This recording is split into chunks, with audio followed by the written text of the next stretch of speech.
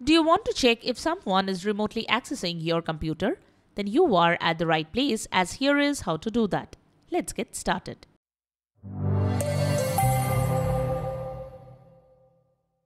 This is the Windows Club. This video will show you how to find out if someone has remote access to your Windows 11 or 10 PC.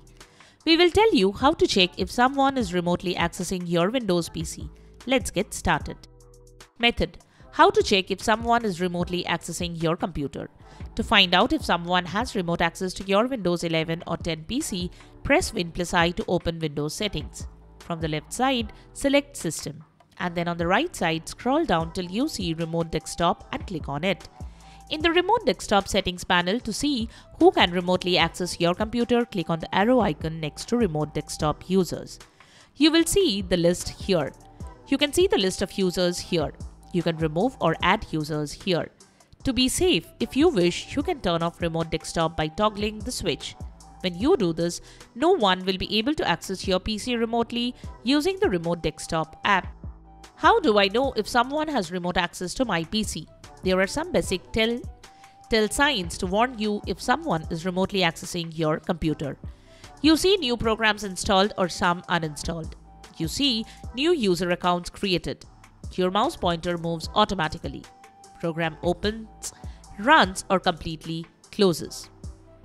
Windows Event Viewer Log Display Event ID 4624 with logon type 10.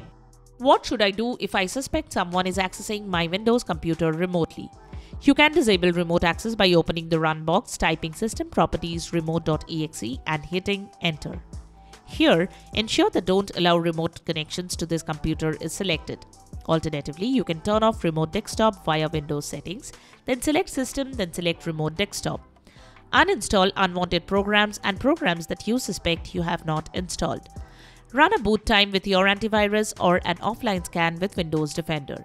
Use a network monitoring tool to monitor network traffic and allow or deny internet access to apps. Use Windows Firewall to block inbound remote access ports. These are the port numbers that are typically used.